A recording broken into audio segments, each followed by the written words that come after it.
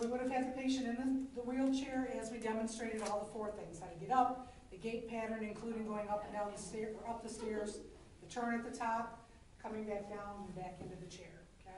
The turn at the top, remember, they're gonna go back to their normal gait pattern that they would use on levels, and which way are they gonna turn? Strong side. The strong side, okay. So let's say this patient is um, partial weight bearing on her right side, okay, what gait pattern are we gonna use? Yep, the three point, also called the protected extremity gait pattern. Okay, um, ma'am, do you have stairs at home? Yes. That's good. Um, and on those stairs, do you have a rail? Say Yes. Okay. As you go up the stairs, which side is the rail on? On the left? Let's go over toward this side a little bit then, okay? So go ahead and and partial weight bearing on this leg. Oops, go ahead and put your crutches forward. Your foot on the ground next to the crutches. Oh, There you go, go further forward. There you go, and then step up to it. Beautiful.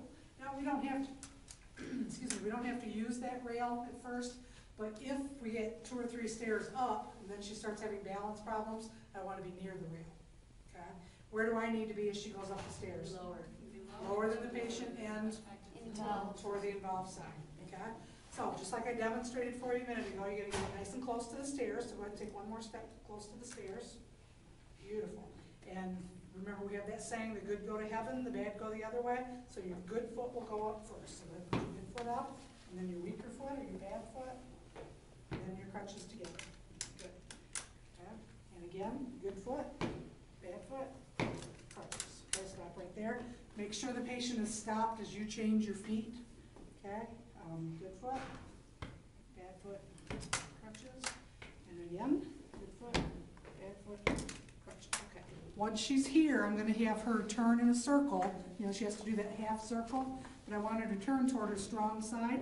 So patient, we're gonna use your normal gait pattern. You're gonna come out and around this way. Okay, so kind of aim off this way a little bit, use your crutches, your right foot, left foot.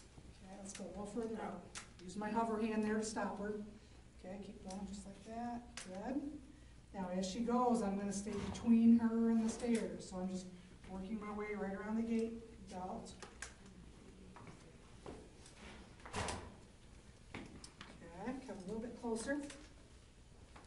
Okay, I still need to be lower than her and toward her involved side, so I'm gonna be over toward this side now, because this is her involved side.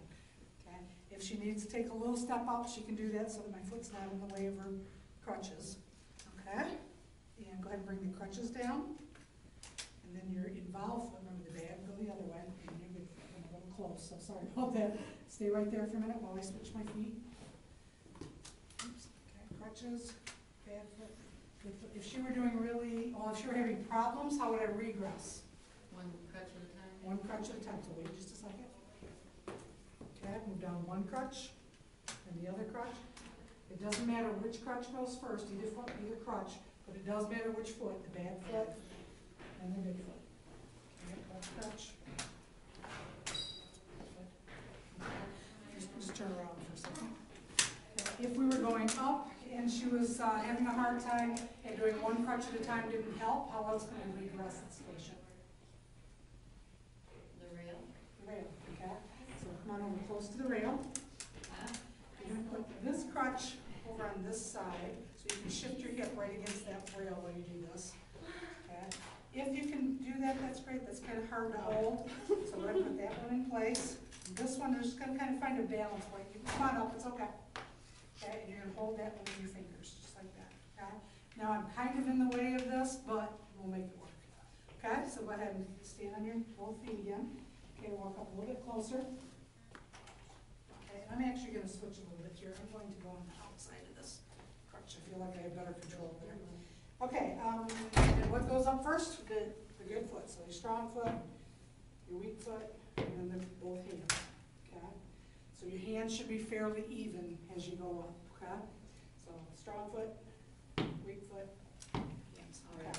Now, let's go back to using both crutches at the same time here. So go ahead and, we're pretend you don't have that problem anymore. Let's step back down one, just kind of step down so we have space. If the patient were doing really well with the normal gait pattern, so I'm gonna let go of you for a second. So she did strong foot, weak foot, crutches, and she was doing really well. How can we progress the patient? Same time. Modify? Crutch. about, but. Um, she has partial weight bearing here, it's still fairly limited, maybe a toe touch weight bearing, something like that. So she still needs both crutches. Strong, strong foot with crutches. Okay, so strong foot up, and you're gonna move your weak foot with the crutches at the same time. Good. Strong foot. Okay, so see how you can do those progressions? Okay, um, and that's it for that patient, so just carefully walk back down the stairs here.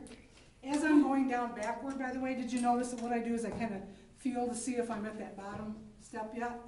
Okay, so, oh, now I know I'm at the bottom, okay? Um, it's kind of hard as you're walking down not to keep looking behind you, okay? All right,